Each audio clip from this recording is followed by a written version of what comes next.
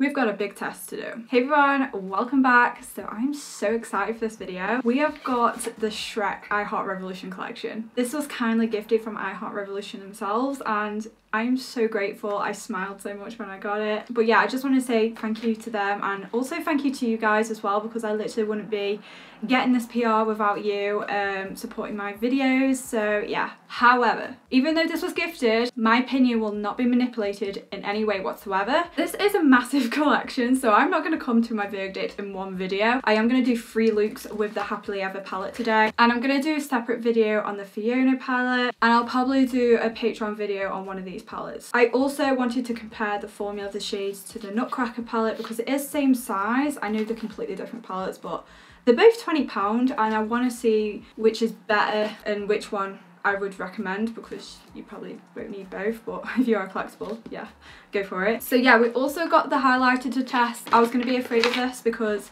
it does look quite dark as you can see. Like I still think mm, that smells well nice. It smells like gingerbread. And then we've got a lipstick to try. They did have a few others in the collection. They had a transformation one, which changes to your pH levels in your, skin. I swear all of them changed into the same colour though anyway. So yeah, I'm really sorry that was a long intro. I just feel like I needed to get some points across before I just go straight into the video. So yeah, if you're interested to see how this palette performs, then keep on watching, hit subscribe, join my Patreon if you like. But yeah, without further ado, let's get straight into the video.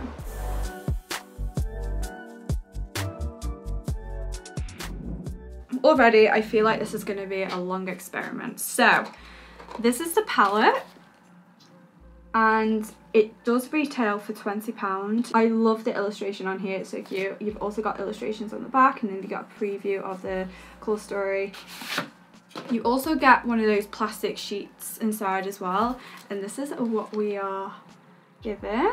So it's very touched. I have been doing some swatches just off camera, just getting a feel of the palette first. But yeah, I do have some opinions on this palette already, judging by the swatches. I also just want to compare it quickly to the Nutcracker. Now, I'm not saying these are the exact same palette, but they are the same price, they are the same size. So straight from the bat, I'd say the Nutcracker has more pinky blended out shades, and I'd say the Shrek palette has more orangey transition shades. The Shrek one just looks more punchy, and this one just looks more like delicate pastel um this one just looks like yeah right we're here so i have swatched the most similar shades that i could pick out the two palettes so all the top comparison shades are from the shrek so this one is from Shrek and the pastel blue is from the Nutcracker. So the blue in here from Nutcracker I do not get on with whatsoever. However, the Shrek blue, it provides, it's, it's a lot brighter um, I just feel like it's got more pigment. So yeah, that's Shrek, that's Nutcracker. And the two shimmers from the palette, the top one is Shrek and the bottom is Nutcracker. So I feel like the Shrek one is more smoother it applies on easier. The Nutcracker, you do have to dig in a bit. I have found that lately, actually. I don't know whether it's because it's created a film over the pan now because I haven't used it in a while. Sometimes eyeshadows do that. I don't understand, but some eyeshadows from I Heart Revolution don't do that, like the Looney Tunes.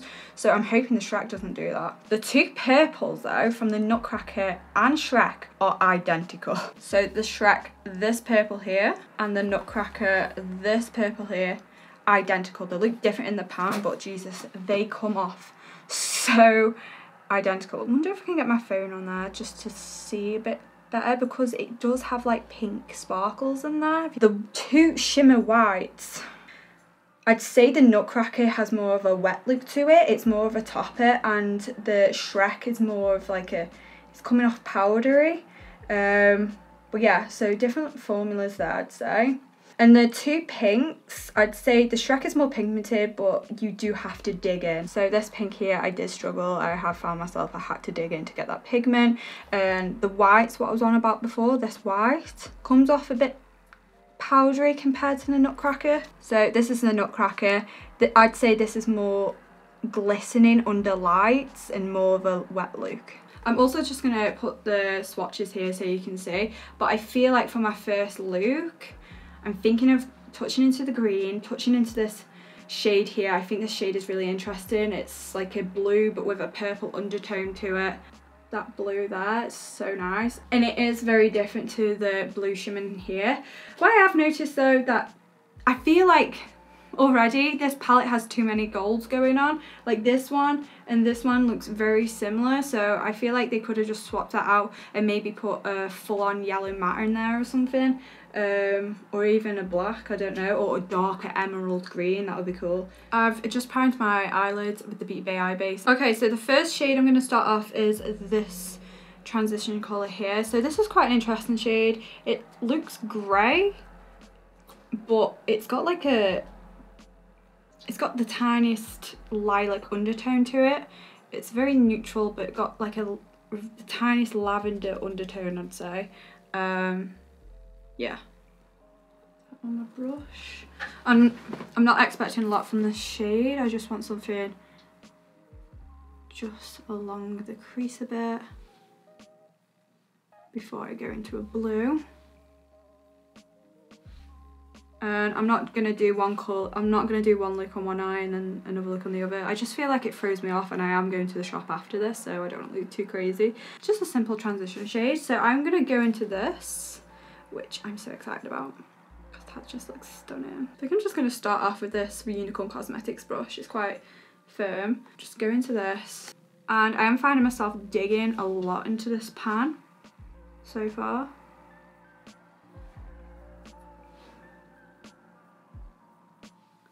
But it is like a metallic shimmer. I feel like it can show up better when wet, but I just want something laid down first before I go into another shade. Just going to use another brush just to make sure it's blended. Blended in there. I, hardly do shimmers in the crease, but it's kind of underrated.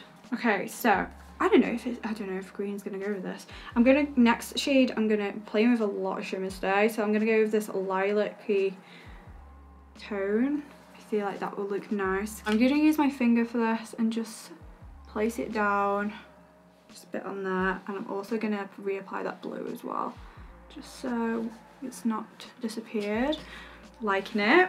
I'm thinking of going into green shimmer. I've never done this colour combo before, so this could go horribly wrong. I have hope. I have hope. This pastel green, when I swatched it, it looked really nice so I cannot wait to see goes on. So I'm gonna put this in the inner corner for now.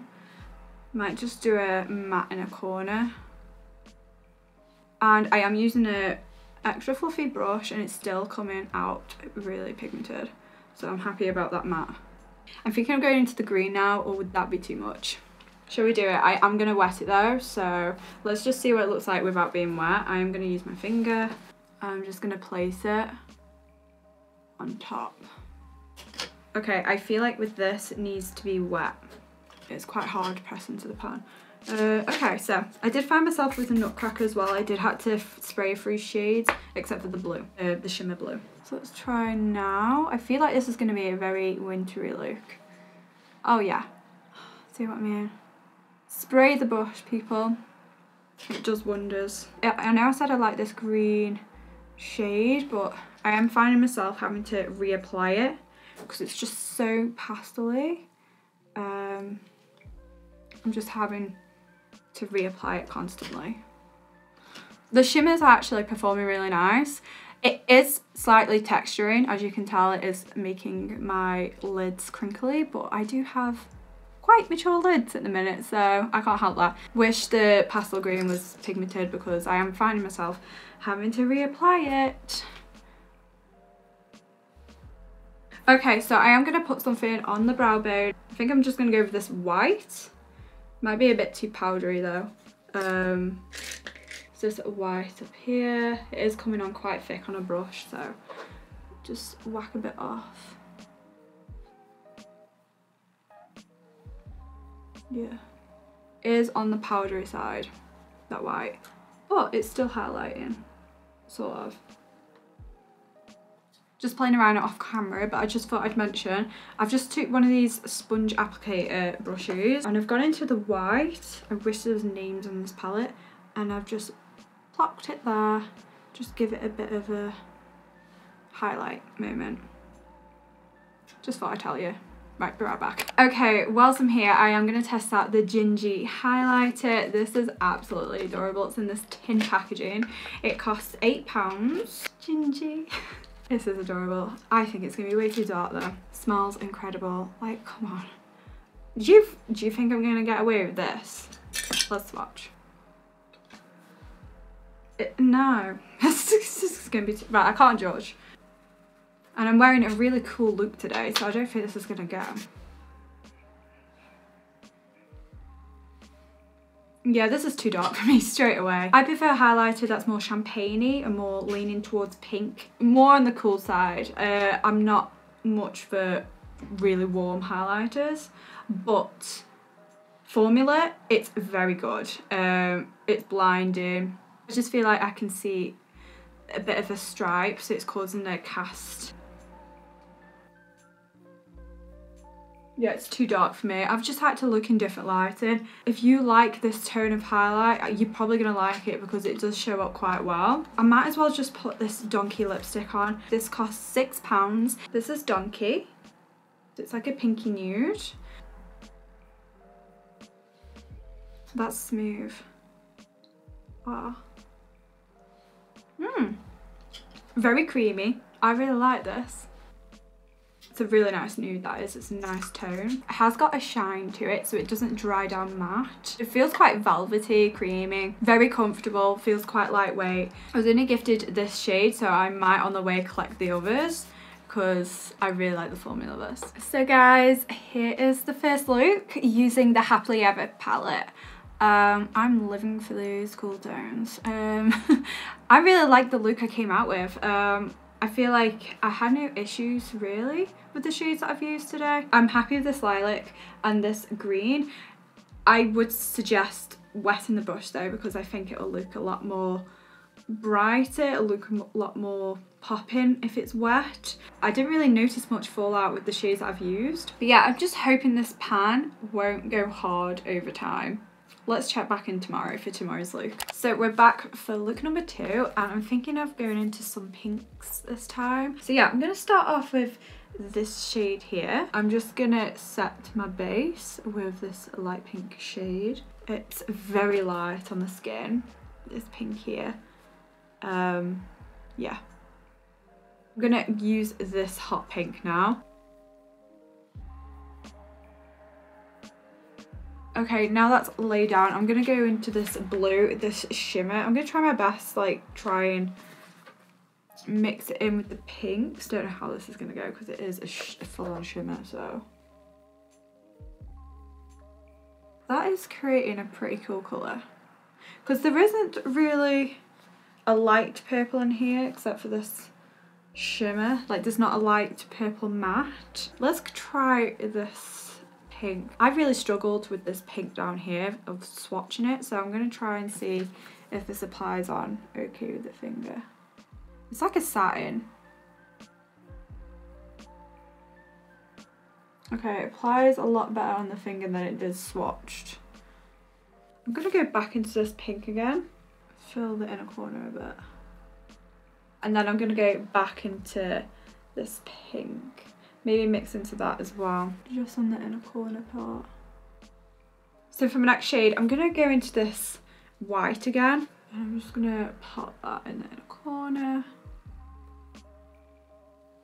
I always love pink and purples together. I'm going to try and go with this pink again and see what it looks like wet. Okay, it's a bit better when it's wet. I'm just going to take this shimmer in the corner here and just put it on the brow bone. I feel like you do need to dig into this. It's a bit on the powdery side as well. I'm also going to take this purple as well, just to add a bit of depth on the outer corner. So guys, here's the second look using the Happily Ever After palette. I'm really liking this one. This is also another cute way you could wear this palette. The pink and purples go really nice together. However, this pink is not my favourite pink to work with. It's very hard pressed into the pan which makes you have to dig into it to get a pigment so yeah I'm not impressed with this pink however this blue shade works really nice. I didn't typically use it as a full-on shimmer. I used it with a fluffy brush and just fluff over the hot pink and it's just made a really nice purple. So I've already swatched this. It does swatch really nice. If you want to make it opaque, go in with a flat brush. I've been enjoying using this white as an inner corner highlight and brow bone. I really enjoyed this hot pink. It came out pigmented. It swatched really nice. And yeah, so far so good. So I'm back again for look number three and I was thinking of playing with some of the neutral shades in here because I haven't really touched those. Well, I haven't put them on my eyelid yet. So I'm thinking of concentrating on this area. Maybe use this red with the oranges. I did say, I did say earlier in the video, I do think there's too many similar shades in the gold bit. Like, okay, there's one similar shade in the golds. There's this one and this one. I just think they're too similar. Like, do we need both of those? Probably not. Just orange here. I'm to start with this shade.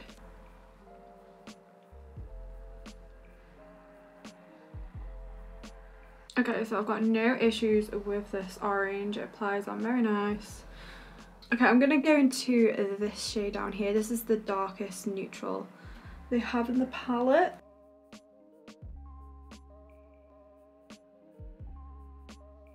Okay, so no issues with that shade, that's absolutely fine. I am going to go into that red now. This is a red shimmer. When I did swatch it though, it did lean more pink.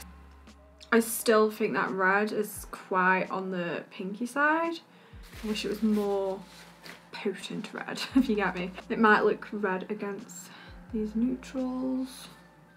It's like a satin, this shade is. I really want to brighten a corner, so I'm going to go into this yellow gold shade here. I'm just going to focus this on the inner corner. I'm thinking of going into this shimmer here, this gold, and just put that where there's a gap. Um, it's got, it is very sparkly. I feel like it's not quite smooth. I'm gonna go into this. I remember I swatched this. I should have gone in this earlier. Oh, that looks nice. Maybe just on the outer corner bit. I think I might close the gap with this red a bit um, because I feel like that's a bit better than the golds. So here is the finished look. What do we think? This look reminds me of the time when I tested out the Mother of Dragons palette. I prefer the shades to the Mother of Dragons. I just thought they were more pigmented. I still like this look, but I feel like I have done it better with a different palette. I do prefer the two looks that I did before this one. You're gonna have to let me know which one you prefer. This palette, let me just say, is so much fun. I've been excited each day to come up with different looks. It's just quite inspiring to look at, like to, which colours to go in for I am going to make my mind up on which I am decluttering. I think I've chosen, I think I'm going to declutter the Nutcracker. I just feel like I've had more fun with this. There was a time last week that I was about to film with the Nutcracker and I just sacked it off because I just couldn't get creative with it and I am going to do another look with it. I just had to move on to a different palette but I didn't have that with this so that being said I am going to declutter the Nutcracker at some point once I do another video of it and explain. but is this worth £20? I feel like £20 is a lot for these palettes. The Nutcracker is also £20 as well, which doesn't really make sense because that's not really a licensed palette, whereas this is Shrek. I do still find it's expensive. I, I, I feel like it should be 15 I don't think the quality is worth £20, but that being said, it is Shrek. So we have to remember it is a brand that is well known. I'm happy to have it in my collection. It's been really fun. I feel like the shades in here are hit or miss. You're going to get some good ones, especially the blues and the pinks in here, but then you're going to get some kind of misses. Actually, this pink I did not enjoy. This pink was a very much of a digger. Got a dig in there. And I have noticed that some of the pans have hardened up. They've got like a film on them, which I'm not too happy about. I don't know why that they do that. My Looney Tunes doesn't do that. The oranges that I've used today blended out really nice. I really enjoyed those. You've seen my review. You've seen how I've used it. I'm not obsessed but I'm happy. I'd love to know your thoughts down below of what you think of this palette. Have you tried it yet? I will get onto the other stuff. I will try out that Fiona palette in a different video and I'll also test one of the mini palettes on YouTube and one of them on my Patreon. I think I might do the Puss in Boots for my Patreon. So if you want to be involved with that, I'll link my Patreon down below if you want to see. And yeah, if you did like this video, do give it a thumbs up. It sure helps my channel out. And if you don't want to miss out on other makeup from his collection, hit subscribe button down below. And yeah, I hope you have a lovely day now time watching this and I shall see you next one. Bye!